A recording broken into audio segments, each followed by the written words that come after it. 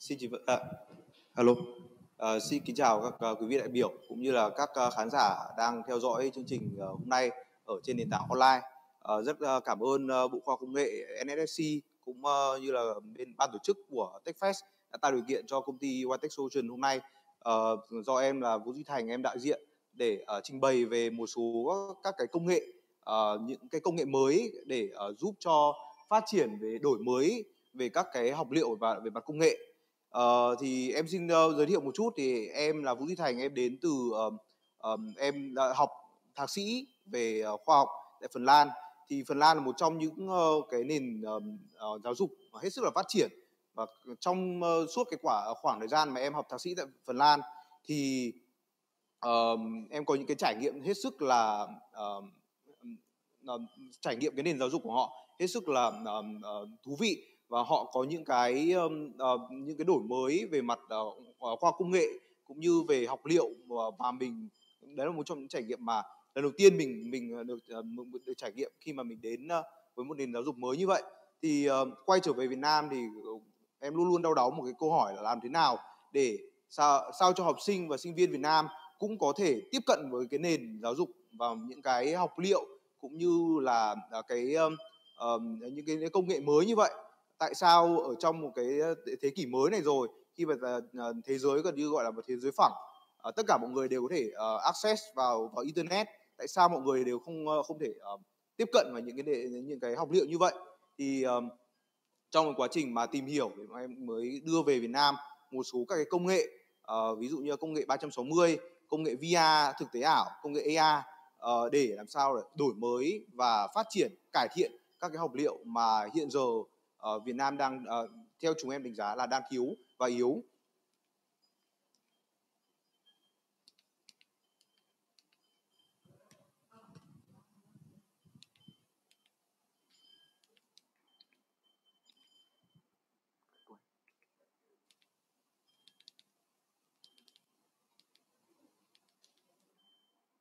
Ok.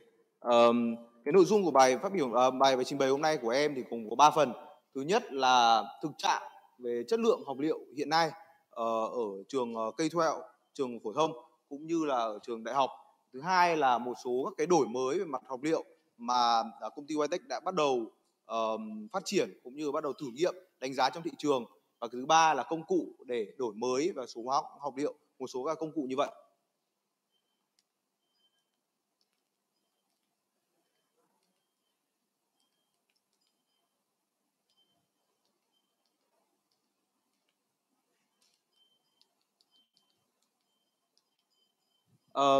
Thực trạng thực trạng về học liệu hiện nay ở Việt Nam đó chính là thứ nhất là học liệu hiện giờ vẫn đang là học liệu một cách rất là truyền thống.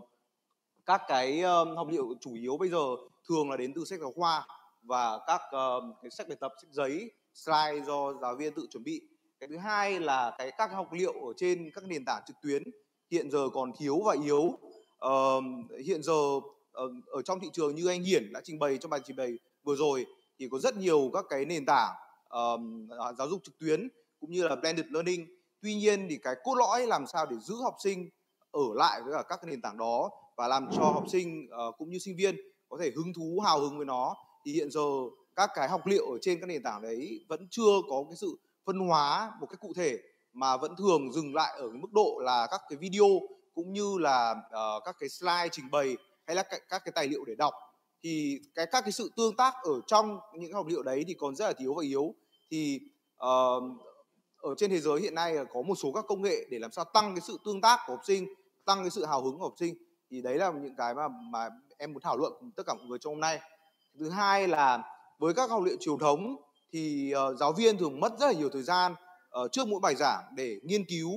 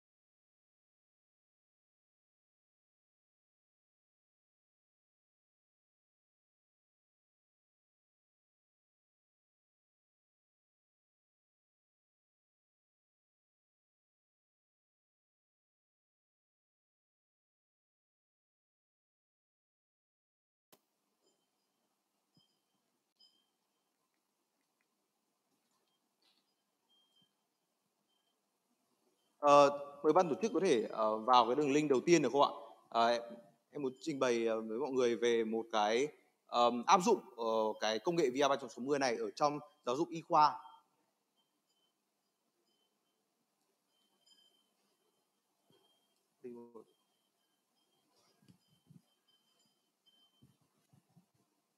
Click to start. Thì đây là một cái trải nghiệm uh, thực tế ảo ở trong cái bài giảng về y khoa. Um, ở đây mình có thể là move on bằng cách ấn X được không ạ? Ở đây thì uh, học sinh đây là một cái demo thôi. Uh, đây là một học sinh có thể là xem um, cái um, uh, cái quá trình mà diễn ra cái uh, cái uh, cuộc phẫu thuật đấy uh, và trả lời các cái câu hỏi ở ngay trong uh, ngay trong cái cái cuộc phẫu thuật này xem quan sát ở góc độ là 360 độ. Và ngoài ra thì ở đây là một cái bài tập mình có thể set up là học sinh phải trả lời trong một khoảng thời gian nhất định và có, mình có thể là tích hợp với cả cái phần chấm điểm ở ngay trong cái ờ, công cụ thực tế ảo này.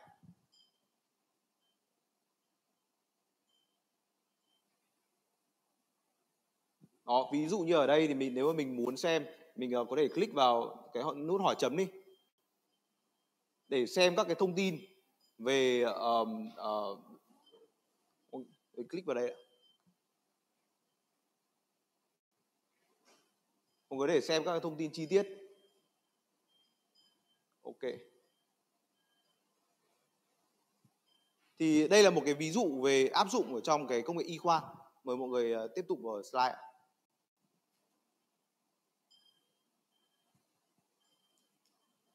Ờ, ngoài ra thì các cái học liệu đấy có thể là được uh, chuyển hóa thành dạng 3D uh, ờ, thay vì là bây giờ mình có thể xem ở trên ví dụ slide này là dạng 2D thì mình có thể xem uh, tất cả các cái học liệu đấy ở dạng 3D mô phỏng lại các cái thí nghiệm. Thì hiện nay công ty bọn em uh, công ty Whitech đã nghiên cứu bắt đầu nghiên cứu và phát triển. Hiện giờ là ở trong uh, cái ngân hàng các cái thí nghiệm ảo mà bọn em đang uh, phát triển là có lên tới 600 cái thí nghiệm rồi ở đang được ờ, áp dụng và à, đang được thí điểm áp dụng ở trong một số trường tại Singapore. Và các trường thì đang đặt hàng với bọn em để làm các cái thí nghiệm này. Ờ, các thí nghiệm thì uh, có trong bộ môn như là lý hóa sinh và môn khoa học ở ở, ở, ở nhà trường tiểu học. Lý hóa sinh thì môn uh, là các um, uh, các môn ở trường trung học cơ sở. Thì uh, uh, có lẽ là uh, ban tổ chức cho mọi người xem một chút về cái uh, thí nghiệm ảo uh, được không ạ? Nước link thứ hai ạ.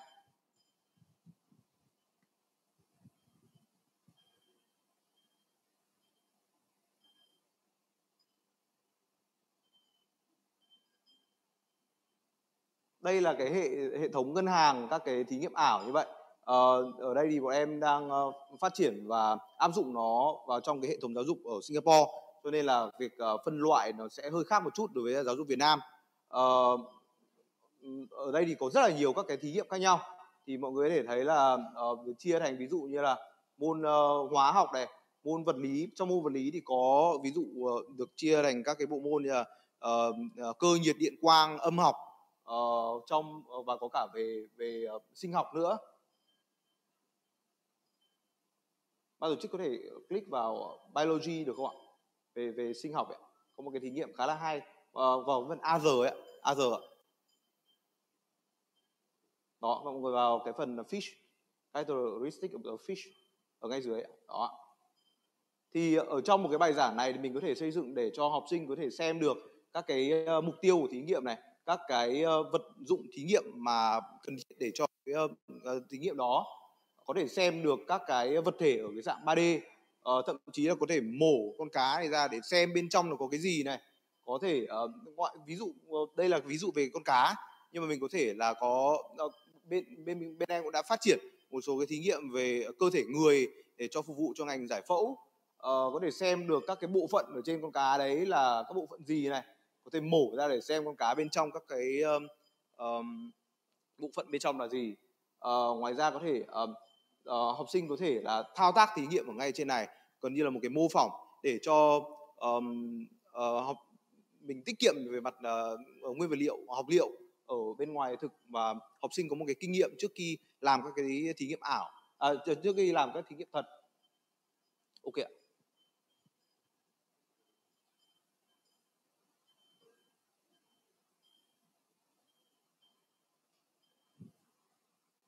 Tổ chức quay lại slide Ờ, ngoài ra thì các cái uh, mô hình 3D hay là các cái thí nghiệm 3D đó còn có thể được áp dụng công nghệ như là thực tế ảo tăng cường để thả ra trực tiếp ở ngoài môi trường nữa cơ. Thì uh, có lẽ chút nữa thì sau buổi bài trình bày này thì uh, mọi người nếu mọi người muốn trải nghiệm thêm thì có thể liên hệ tiếp tục với cả em.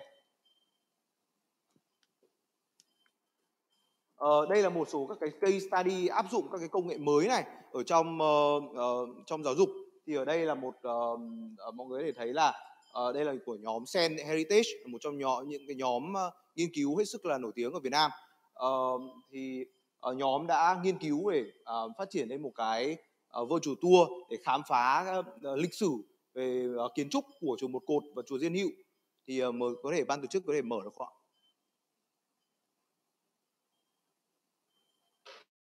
uh, ban tổ chức vào phần tour 360 ạ, ở, ở ngay dưới cho một cổ đẹp.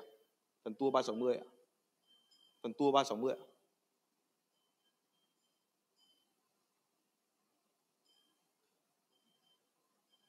Đây là AI thì mọi người có thể xem được là cái mô hình của một cột ờ, ở trong ờ, quá khứ thì như thế nào.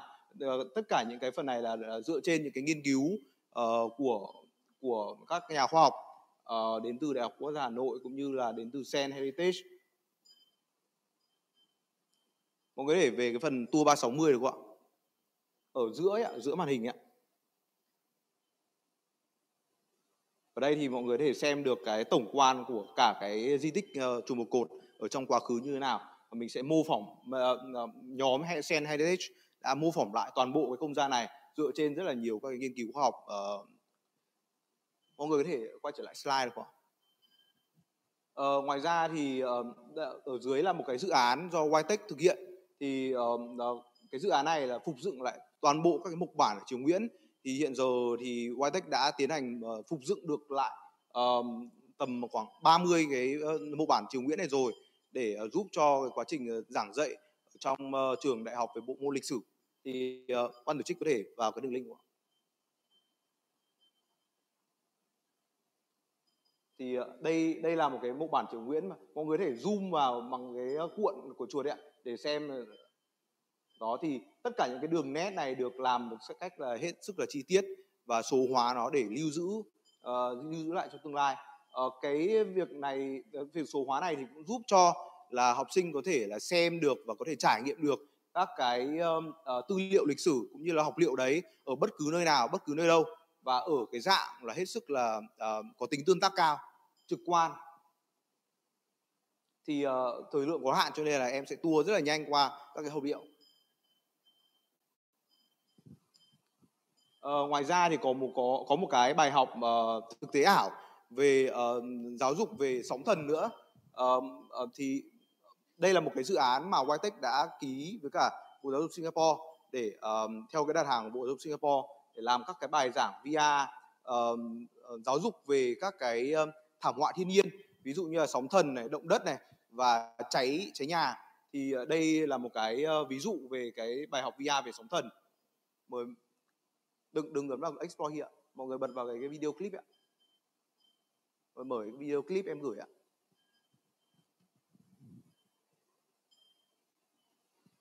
Ban tổ chức mở cái clip.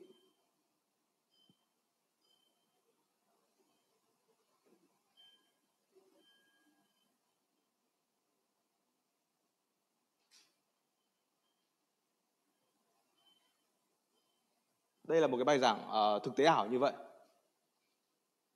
Thì uh, cái việc mà mình đưa vào những cái công nghệ mới này sẽ giúp cho học sinh thấy được cái tính tương tác rất là cao.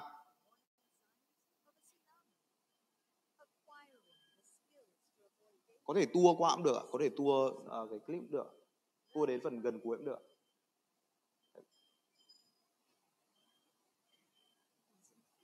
Đó. Thì uh, mọi người cứ tưởng tượng là học sinh sẽ đeo một kính thực tế ảo và trải nghiệm thực tế luôn. Cái không gian mà bên uh, bên em mô phỏng thì ở đây mọi người có thể thấy là trước cái sóng thần xảy ra sẽ như nào và khi cái sóng thần xảy ra sẽ như nào. Và có những cái uh, câu hỏi cũng như là những cái chỉ dẫn để học sinh có thể hiểu được là sẽ phải làm như thế nào uh, khi mà có cái thảm họa thiên nhiên đấy ập đến ok ạ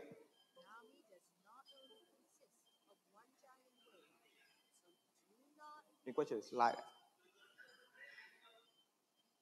à, ngoài ra thì còn có những cái ví dụ như là triển lãm về công nghệ STEM uh, của mỗi bên uh, Bộ Giáo dục Singapore nữa để họ trình bày về tất cả những cái sản phẩm ở trong uh, uh, uh, gọi là Youth Science Programs của Singapore. Uh, ngoài ra công nghệ VR360 còn được sử dụng và áp dụng trong việc số hóa các không gian trường học để phục vụ cho công tác tuyển sinh, nhất là trong cái điều kiện mà uh, học sinh cũng như ờ, phụ huynh không để đến ờ, tham quan trường học uh, trong cái thời kỳ Covid hiện nay. Uh, thì hiện hiện tại thì uh, đã có một số các nhà trường đã bắt đầu uh, áp dụng các cái công nghệ này vào. Ví dụ như là cao đẳng nghề Vĩnh Phúc trường đại học FPT và trường trung phổ thông liên cấp Wellspring thì uh, sau đây thì có lẽ là em xin uh, gửi cả những cái đường link đó để cho toàn thể các quý vị đại biểu cũng như là uh, các uh, um, mọi người đang theo dõi ở trên nền tảng online có thể trải nghiệm được các cái các cái tham quan ảo này uh, ngay tại cái thiết bị của mọi người.